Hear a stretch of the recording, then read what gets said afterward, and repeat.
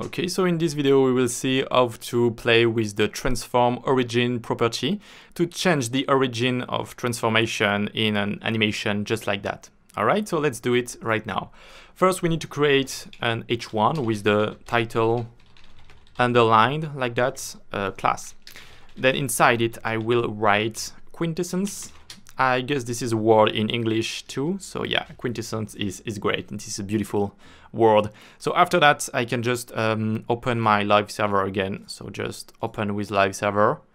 And yeah, I will have my uh, my text right there. So I can go in my style CSS. So there there is a basic reset, a background, and display flex justify content center just to center my text right there. Okay. Okay, so after that, I will just zoom a bit for those who follow on mobile phone. And then I can just style my title underlined with some display inline block, inline block. So it will keep its width, uh, the width of its content and also block. So I can play with some margin top, for example, a margin top 250, position relative for the animation, color F1, F1, F1, font size 80 pixels, cursor pointer, yes, and we do have our words right there. So the animation will be with the um, pseudo, uh, pseudo element after, the after pseudo element. So I can just go there and create it after. I need to instantiate it with the content property, even if the value is empty like that. Then position absolute, which is relative to my position relative, so the, the position parent the width will be 100%. The transform scale x scale x will be set to 0, but right now I will just uh, put 1 to see it. The height will be 2 pixel.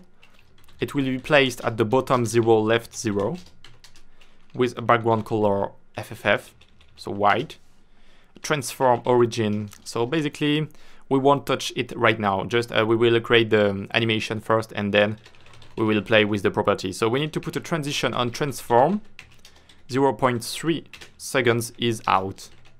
Is out like that. Okay, great. So now the animation will be about uh, transform scale. I will just put 0 at the beginning. And now when I hover it, so hover, so it's pseudo class hover, then my pseudo element after will take a transform scale x 1. So this is the first animation and it can be a good animation actually if you want to keep it like that. So basically the transform origin will be at 50-50 on X and Y. So basically at the center of my element, you see? Okay, great. And what if we want to change it? What if we want to change it? For example, I go there and I will just put transform origin to bottom right.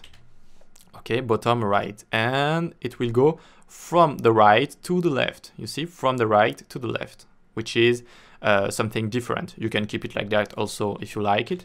You can also put bottom left, for example, if you want the older one. And I could also do something like bottom right right there. I copy it and I paste it right there. And right there, I will just put bottom left. And then when I hover it, the transform origin will be at the left and when I won't hover it, it will be at right. So it will start at the left, okay, from the left, and it will hand to the right, like that, okay, from left to right, from left to right. So you can do some kind of um, sympathetic uh, stuff like that with your animation if you change the transform origin. It's important to know that kind of uh, property when you are dealing with CSS animations. All right, that's it. It wasn't too difficult, I guess, but it's uh, it's quite uh, interesting. All right, see you in another video. Ciao.